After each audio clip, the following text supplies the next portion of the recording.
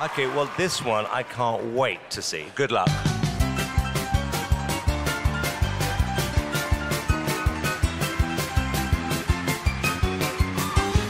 Can I be honest with you? I didn't like it. Hi, everybody. My name's Linda St. Clair, and I'm here to do the X Factor. Wow, what do you do? I drive a forklift, yes. Wow, do you like it? It's interesting. I was thinking I'm going to be famous when I was at school. Okay, good luck. Oh.